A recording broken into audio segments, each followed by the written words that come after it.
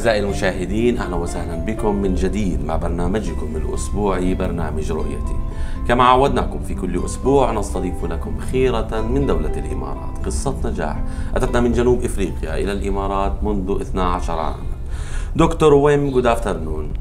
Good afternoon. We are so lucky to be here with you in your house. Our team said you welcome in our program and we would like to know about yourself. Who's Dr. Wim when he came to this country at the first moment and what he's doing at this time?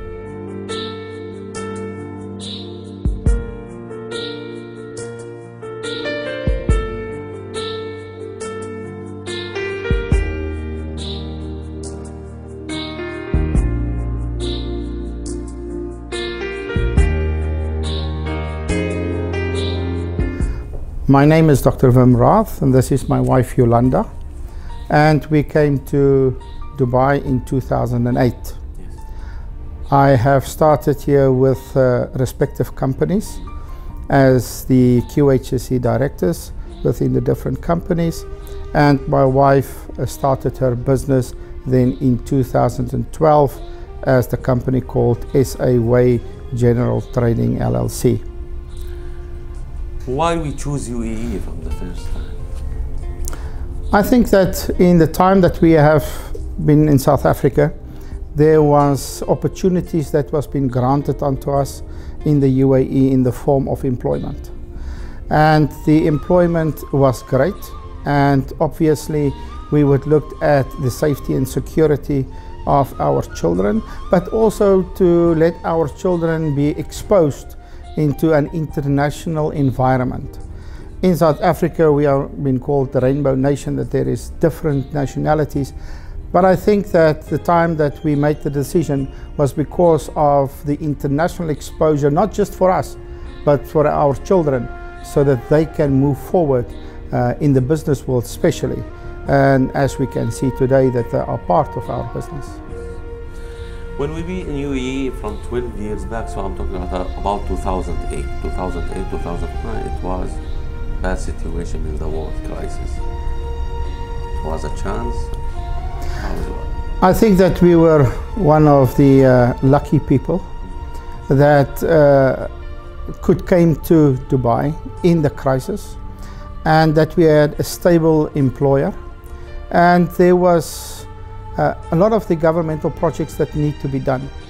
So I will just uh, say that we were really lucky in order to cope with that. I cannot say that it affect us as a household when we came in the crisis time uh, because of the strong employer that we had. Yolanda, when we come to UAE first time, so we was mixed between more than 200 different nationalities. It was normal or? Was different, um, especially for my children. um, finding schools for them in the beginning, yes, it was really, really difficult, but they coped so well. Yes, they did. And when they did find the schools, oh my goodness, I'm so proud of them. And yes, and where we stand today, yeah, I, I will not not turn back any time. Yes, the UAE was so great for us, and up until now, yes, the crisis is here now, but yes, we're coping. Start working as an employee in the multicultural country, it's hard for the employee to prove for the company that I'm good or I can be the best. Tell me about 11 years from our employee life in this country. Yeah, I think that first of all, when we started off in 2008, um, you need to show that you have, first of all, the qualifications, because this is where your knowledge starts off is with qualifications. But then you need to have experience. Now, experience and wisdom is going very hand to hand. And you need to think on your feet. You need to show that you can practice what you preach. You need to can show that all of the knowledge that you have that can add value to the uh, organization. Now, the UAE, and I think in uh, the greater GCC, is the fact that you have only one chance. And because of the demand of these experts that needs to come to the UAE and showcase their experience and their knowledge in order to protect the bottom line of any organization, uh, you need to be always on the top. You need to ensure that all the regulations and the rules that is being set for us in the UAE is also difficult especially when you come from a western part and suddenly there is new rules and regulations that also plays a vital part within your organization uh, then it becomes difficult. But the easiest way on the end of the day for me was in adoption. We need to learn we need to understand and we need to adopt these new rules and regulations and to make sure that, that you can uh, change because there is a lot of mindsets that needs to be changed within the business world in order to make a success. When I talk about a woman and a mother or a wife when she's wanna start her personal, her business life, the idea is need a power from the back to support. Your husband was supporter for you, madam? Oh, definitely. Every day. From where we get the idea to open our business? Mostly from him. Um, yes, I every day I ask his support, um, ideas, but yes, um, yeah. um, I, I believe it's the whole family. Yes. Um, even my daughter, um, her knowledge. I mean, she has studied um, events management. So, and my son is in HR, although he's not in the business, but even him, um, we all, everybody is in the business. So, yes, I've, I'm asking everybody. Let's talk about the business, the idea and what we are doing in this area. We have started off the business um, solely to bring in uh, automatic swimming pool cleaners that we call the splasher and that is a product that you just put in the swimming pool and it automatically cleans the swimming pool with your filtration system. And we could have seen that there is more to the market than what we supply.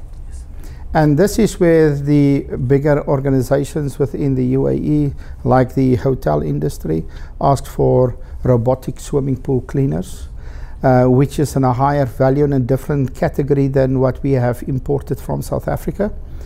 And we have success successfully supplied also and still today supply to the hotel industry then these type of products. Now we all know that business cannot exist out of one business stream. You need to have different modules in order for us to survive because every day there is new competitors that comes into the market and they would also uh, do research on the market to see wow here is uh, some um, swimming pool cleaners in the market. It looks good. Everyone have one. Let's uh, import it from a different source or a different country. Therefore diversity is definitely one of our focuses in the company. And we've diversed and we import then venison and ostrich meat from South Africa. It took us a while in order to lift then the international ban in order to import it into the UAE, and we have done it successfully. We have trade uh, in the business as well as the second business stream for three years, and then unfortunately the bird flu and the influenza flu broke out in one week, and we could not import in the product from South Africa as of even today. We have then did go and sit around the table with the family and we've discussed what is the next step because we cannot just give up. This is not being starting off in business, especially if it's a family business. Uh, still, you have employees, even if they are your family. And we have then import South African delicacies from South Africa. And we supplied then all the delicacies like the different sweets from South Africa or food stuff from South Africa to the South African community. And again, it is only a niche market, so it's only for the South Africans really. However, we have seen through our uh, different spices that we have imported from South Africa that the um, Arab world love spices. And we have attracted many other nationalities in order to buy our spices to make their own sausages and burgers. Thereafter, we did sit around the table again and we said we need to enhance our business. What shall we do next? And fortunately for us, once again, we have met Mr. Uh, Fahad Al Ketbi from, uh, uh, from Al Ain. And we have started in 2017 November our first commercial registered uh, ostrich breeding farm, which we are currently have nine uh, business modules that we are uh, busy working on, and hopefully next year uh, when 2020 is uh, 2021 is in their full swing on the expo, that we can also contribute to the UAE, another attraction to the UAE, and that is our ostrich breeding farm. To be unique, this is what our leader mentioned in his book, Sheikh Mohammed bin Rashid Al Maktoum, the leader of Dubai, in his book My Vision. And he said Mm. if we reach number one, maybe it's hard, but the hard is to stay always on the same level. How we can always keep going on the top in the business and never go any step back in the work. This is a great challenge for us because, first of all, as I said, you need to uh, think diversity. You cannot stay where you are. You need to improve yourself within your business, and your business needs to continually improve. Now, how to do that is first is you must read the market. You need to make sure that the market is acceptable for the products. Unfortunately, as we can see in the market, even in the UAE, that many of these products is been flocked into Dubai, and then suddenly it just disappeared. Whereby we need to make sure, like we have done with the sanitation and disinfectant product that we are now currently dealing with. Uh, the company is called Culligan, that we are a reseller for their product. That it is a product that have value, and that that product must be meaningful for the people of the UAE or for Dubai. If it's not meaningful, we do not have money just to throw around. We don't have money to waste. We want value for our money. And if our clients and the people of Dubai can see that there is value for their money, then it's easy. Then it's easy to stay number one and to maintain that. But that also means that you need to be in constant communication, be in the vision of Sheikh Mohammed. If we are be in that vision, then we will make all the effort, like what we do currently. We do all the effort in order to say, for instance, with the ostrich breeding farm, we are number one. We already supply the best product on the market. They have imported previously the product and those that imported stopped it because it's locally produced it is been scientifically been managed the entire farm and therefore we then can maintain that by having skilled employees. Yes we have our family but we have our, also our farm uh, employees and that they will be skilled. Don't just leave them alone.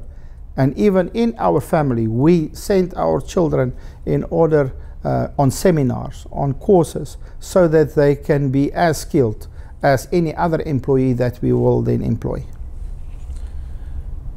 Corona 2020 changed everything. 2020 we was waiting Expo, more than to 25 million person would come to UAE within six months. When I talk about what we was preparing, Corona, what changed? Change Change our plan or no? Absolutely. I think that if you look at when we started off on 1st of January 2020, we said this is the year. Yes. We have so many um, uh, goals and aspirations, and especially with the farm and where we're going to go even on export of our product in our business. And suddenly uh, we hit the iceberg. You mentioned the Corona is not a crisis; it's a challenge. It's absolutely a challenge. It's not a crisis.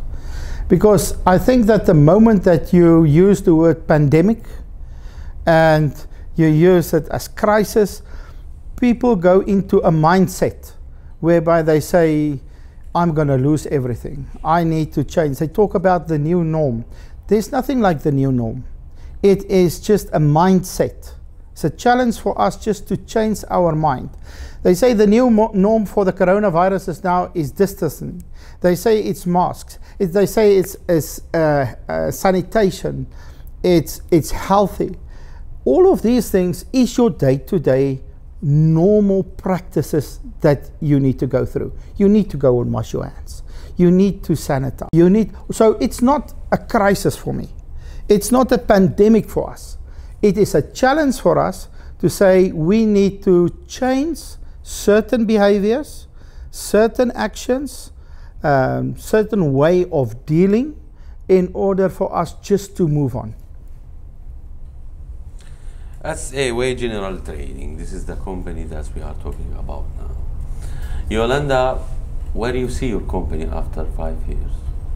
Uh, where I see my business in the next five years is to be um, one of the preferred businesses for Sheikh Mohammed. When someone passes his life after God, there is people around us who support. Who was supporter for you, doctor, in your life? Yeah, I think that first of all, it is our family. Um, we are in the privileged situation whereby uh, we are family members at home, but when we are in the business, we are employees for one another, we are colleagues for one another. And that is why we ensure that all the children within the family understands our business from doing the the CEO's uh, responsibilities up to the point where you need to address clients. Yolanda, what you will say for the man who supports you in your life now, your husband, What would I say to him? Oh, he's the best. um, for me, he's everything. Sorry. Um, yeah, he's not just my husband. Like he says, he's the CEO. Um, yeah, I count on him with for everything. Um, we both do all the decisions because even when he was working, um, I count on him with everything because yes, it I'm the owner of the business, but there's decision makings that needs to be done, but I cannot do it with on my own. So yes, I count on him a lot. And this country, land of opportunity, Dubai, this green uh, community. Vision, our leader, Sheikh Zayed, the one who started the first study, and the son of Zayed make you number one in the world. Peace and safe, we can leave our door open and keep it. What we have to say for you leaders and government? I think that most important is that the fact they need to continue what they are doing right now because it works.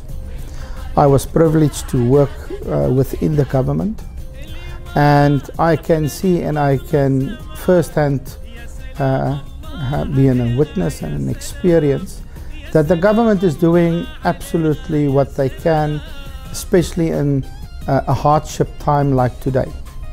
And they just need to continue what they are doing because it works.